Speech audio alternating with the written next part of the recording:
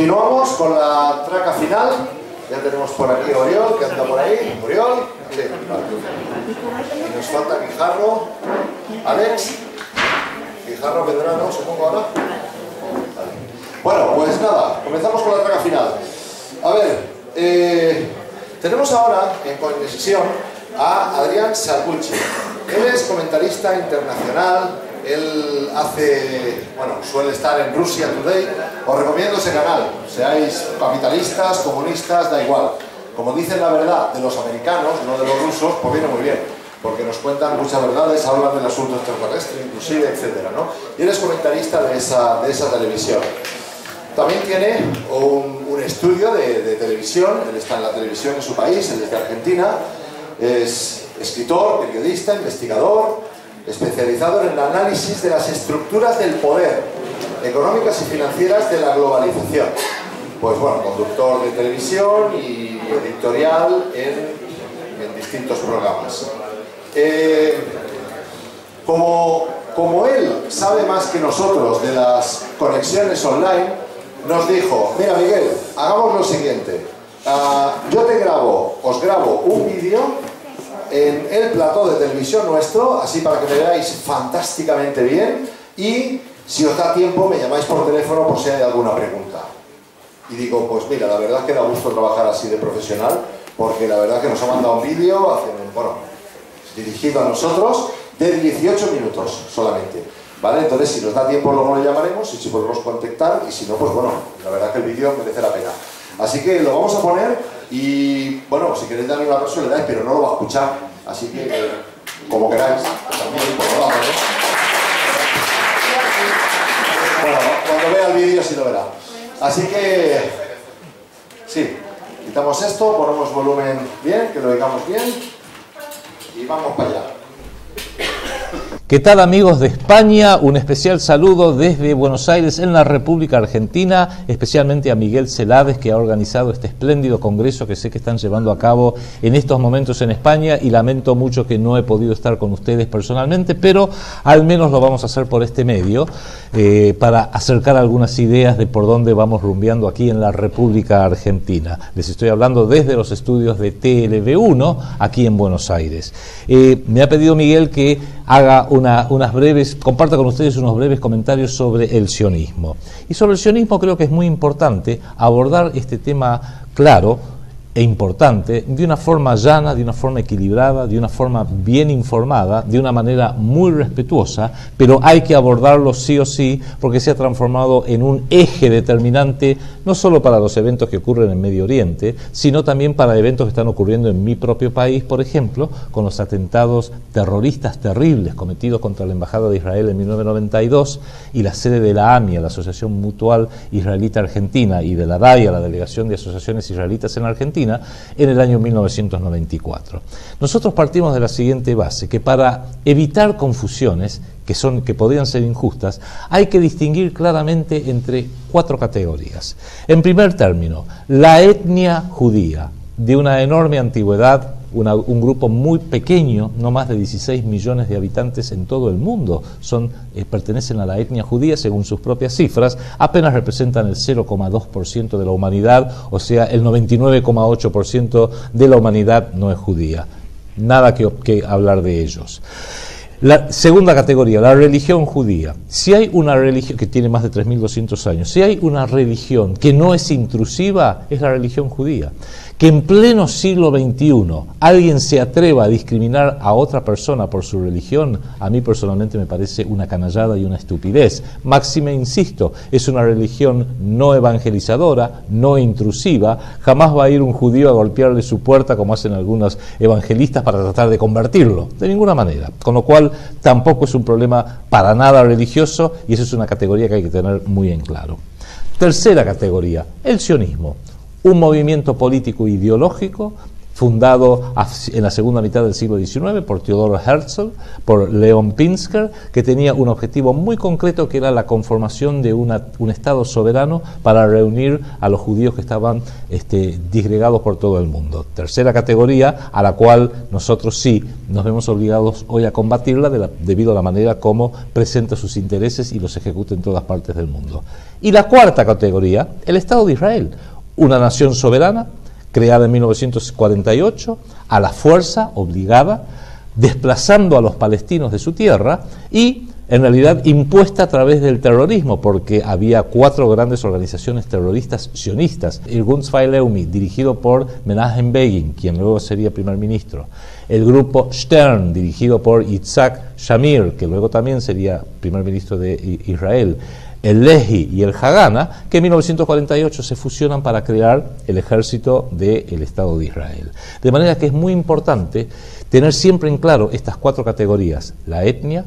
la religión, la ideología sionista y el Estado de Israel, porque quienes promueven los poderosos intereses del sionismo en todo el mundo, hoy tratan de poner todo en una misma bolsa, para que cualquiera que se oponga al Estado de Israel o al sionismo automáticamente lo puedan acusar de antisemitismo. En rigor de verdad, las organizaciones sionistas están enquistadas muy profundamente dentro de las estructuras de poder públicas y privadas en muchos países, notablemente en Estados Unidos, notablemente en Francia y en otros países de Europa, notablemente en mi país, la República Argentina, y en otros países también de Latinoamérica. Opera en una suerte de web, en una suerte de telaraña, en una red, conjuntamente con otros eh, otras instituciones, ONG, organizaciones no gubernamentales, lobbies, Grupos de presión operan con entidades como la Comisión Trilateral, el Grupo Bilderberg y el Consejo de Relaciones Exteriores, pero también opera con los grandes multimedios en Estados Unidos y en Europa,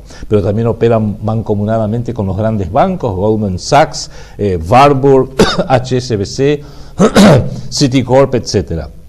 Lo hacen esta red de poder que conforma lo que son los que dirigen las grandes multinacionales, los grandes bancos, los medios de difusión, puestos clave en los distintos gobiernos, las universidades y también ciertas organizaciones multilaterales como el Banco de la Reserva Federal, el Fondo Monetario Internacional, el, Consejo, la Organización Mundial del Comercio y otras entidades afines. ¿Qué pasa? El San Benito que se coloca para cualquiera que quiera desenmascarar, desentrañar, divulgar la manera como operan, una manera muy novedosa, casi sin precedentes, los intereses del sionismo y los intereses que promueven el Estado de Israel, cualquier crítica automáticamente le pone en el San Benito de antisemitismo. Observemos también esto porque es muy importante. Semitas son los hijos en la Biblia de Shem, uno de los hijos de Noé y de Shem descienden los semitas, que no son solamente los judíos, también son los árabes, muy notablemente son los árabes. Los palestinos, descendientes de los cananitas, es un pueblo semita, lo mismo los sirios, los libaneses, los iraquíes, los libios, los egipcios, desde luego. y solamente una parte relativamente pequeña, los judíos sefarditas, descienden de los semitas originarios del Medio Oriente.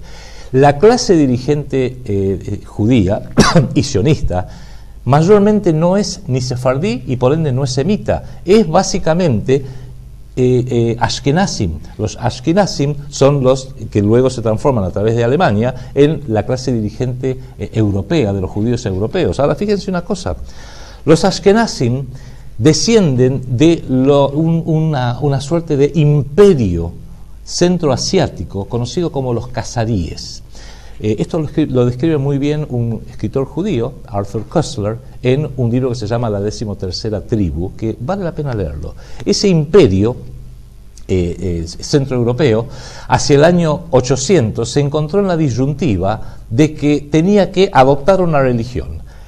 El cristianismo en Constantinopla los quería convertir al cristianismo. El califato de Bagdad los quería convertir al Islam. Y para no dejarse fagocitar ni por cristianos ni por musulmanes, en masa sus líderes decidieron, los líderes de los casaríes, convertirse al judaísmo. Y a partir de ahí nacen, después a través de migraciones, a través de Rusia, Polonia, Ucrania, hasta llegar a Europa Occidental, nacen lo que son los judíos ashkenazim, que tienen una particularidad, ojos claros, pelo eh, pelirrojo o inclusive rubio, son lo que diríamos, ya que usan un vocablo tan antiguo como semita, son arios. Con lo cual, esta es una terminología del siglo XIX, arios y semitas, que yo creo que en pleno siglo XXI hay que abandonarla definitivamente, porque anacrónica y por ser científicamente prácticamente insostenible. Pero en definitiva, ya que los sionistas insisten en hablar de antisemitismo, los verdaderos descendientes de los semitas son los pueblos árabes. Y la clase dirigente judía son arios, son casaríes, son pelirrojos de ojos azules, son de tez blanca. Con lo cual, fíjense el sinsentido el verdadero antisemitismo terrible que el mundo hoy ve ha sido el perpetrado por Estados Unidos en Irak, o el perpetrado por Estados Unidos y la OTAN en Libia, o el que se perpetra actualmente en Siria, o el que lleva adelante la clase dirigente israelí Mírele bien el rostro, por favor, a, Víctor Lieberman, a Netanyahu, a Ariel Sharon cuando vivía, a la diputada Ayelet Shaked, a Moishe Feiglin, vicepresidente del Knesset. Son todos arios, no tienen sangre semita, son todos ashkenazim. Con lo cual, en definitiva, el verdadero antisemitismo que vemos, por ejemplo, en Palestina, es el cometido contra los pueblos semitas de los palestinos por los arios israelíes. Con lo cual, en esta gran confusión, en este sinsentido, el verdadero antisemitismo que hoy ve el mundo es en contra de los pueblos árabes, los pueblos musulmanes. Innegablemente esto han podido hacerlo por la gran fuerza que tienen sus medios de difusión, la gran fuerza que tienen eh, su dinero a través de distintas dirigencias para poder llevar e imponer su punto de vista, pero en realidad es una falacia. Y el vocablo o la acusación insultante, amenazante, descalificadora de antisemitismo, se hace básicamente para silenciar toda discusión sobre esta problemática, toda discusión respecto de la manera como se impuso al Estado de Israel generando un martirio para millones de palestinos, toda la geopolítica de Medio Oriente llevada a cabo por Gran Bretaña, la Unión Europea y notablemente Estados Unidos en contra de los pueblos semitas árabes, y en el caso ya mucho más puntual de mi país, para esconder las intervenciones e intromisiones inmorales y obscenas de las organizaciones sionistas internacionales, del Estado de Israel en particular, a través de la Embajada de Israel en la Argentina y de la Embajada eh, de, Estados Unidos en la Argentina, aprovechándose de organizaciones sionistas locales que viven en la Argentina, pero que no operan a favor de la Argentina, como puede ser la DAIA, la AMIA, la OSA, Organización Sionista Argentina, que en su misión declara que el centro de la comunidad judía tiene que ser el Estado de Israel. Y uno diría, bueno, yo como argentino siento que el centro de mi vida espiritual es la República Argentina, como vosotros lo debéis considerar que es España. En este caso no, la OSA dice que el centro de la vida de todo argentino de origen judío tiene que ser el Estado de Israel. Con lo cual a mí me ha traído más de un problema, más de un dolor de cabeza. Les he dicho, si tanto quieren estar en Israel, pues vayan. En definitiva, es un caso único. El sionismo es prácticamente un caso que no tiene parangón donde una etnia muy pequeña, pero tremendamente poderosa, puede organizarse, coordinarse, ejecutar planes de acción en todo el planeta con objetivos puntuales, porque puede llamar a, su asistencia desde la fuerza tremenda del dinero de la internacional dorada a través del sistema bancario, como así también los multimedios a través de eh, esta gran red informática que existe hoy en el mundo, y ejerce mucha presión. Eh, para ir redondeando esta idea en este breve video, en este breve mensaje que quería compartir con ustedes, hay un libro muy recomendable, por, cierto, que se llama eh, La política exterior norteamericano y el lobby de Israel. Son, lo escribieron dos autores, el señor Stephen Walt, que fue el decano de la Escuela de Ciencia Política John F. Kennedy de la Universidad de Harvard, fue el decano, y otro señor que se llama John Mearsheimer, que fue el jefe de la Cátedra de Ciencias Políticas de la Universidad de Chicago, donde en un voluminoso libro de 600 páginas demuestra muy bien referenciado del año 2007, es el libro, 2007, la manera en que estas organizaciones sionistas logran a través del poder del dinero, el poder de los multimedios, la influencia de financiar las campañas de todos los senadores, los diputados, los futuros presidentes, los intendentes, legisladores, el favor que van a recibir futuros jueces, etcétera, etcétera, etcétera, cómo logran imponer su voluntad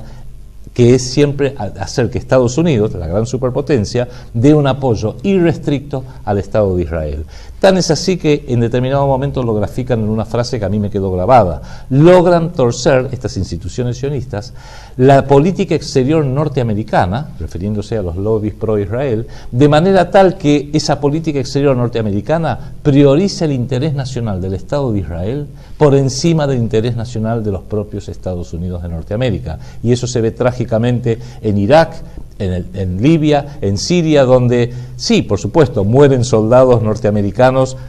en nombre de Israel sin saberlo, pero muy infinitamente más trágico es el millón y medio de iraquíes que han muerto, los 400.000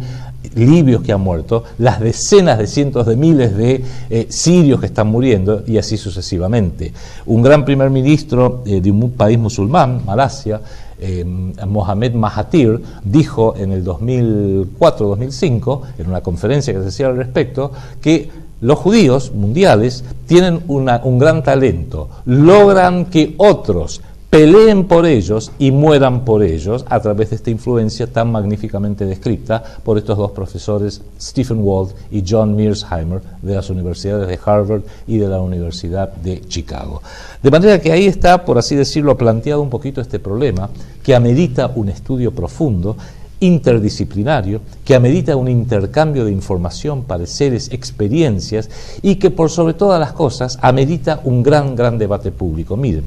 yo en mi país, desde hace ya nueve años, que la DAIA me viene acusando sistemáticamente de antisemita, es más, en este momento me han hecho una denuncia penal por antisemita, por supuesto, no iba a ser otra cosa, que vengo pidiendo que la comunidad judía en mi propio país tome distancia de Israel, tome distancia de la valla, tome distancia de todos aquellos que se consideran con el derecho de hablar en nombre de toda la comunidad israelí, porque si no están quedando pegados o asociados al genocidio perpetrado por el Estado de Israel en eh, Palestina y a otros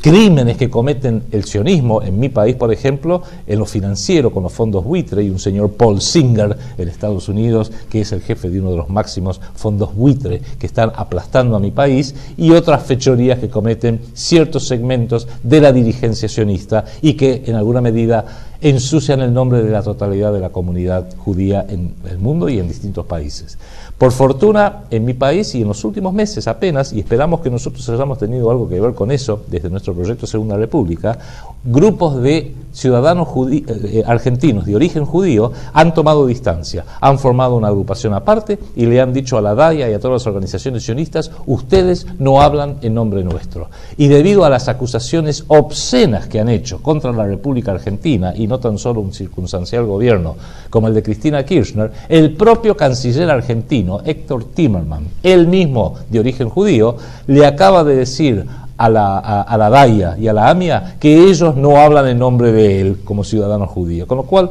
va despacito produciéndose una reacción saludable, porque es la mejor forma de proteger incluso a las poblaciones judías en todos los países en contra de injusticias que se han producido a lo largo de la historia, haciendo este gran debate y es en eso que los felicito a ustedes allá en España por este espléndido congreso que están haciendo, al cual les deseo muchísimo éxito, porque tienen el coraje ustedes de plantear estos temas, y agradezco que me hayas invitado, Miguel, para hablar sobre este tema específicamente, porque justamente aprovechando la tecnología que hoy tenemos de Internet, que nos permite este magnífico esquema de YouTube y de Skype y de todas estas comunicaciones, que hoy ya la información está menos monopolizada pocas manos. Ya los hombres y las mujeres pueden empezar a hacer algo que es la clave para superar no solamente los problemas en cada país, sino en todas las comunidades, que es pensar con el cerebro propio y no pensar con el cerebro ajeno. Por eso, con esto concluyo este, este breve mensaje, les mando un gran un abrazo muy grande desde Buenos Aires, un saludo muy fraternal, un gran saludo a Miguel Celades, a Pilar Reyes, que ha ayudado sé muchísimo en esta, la organización de este congreso, y les deseo el máximo de los éxitos y todo lo mejor para el futuro.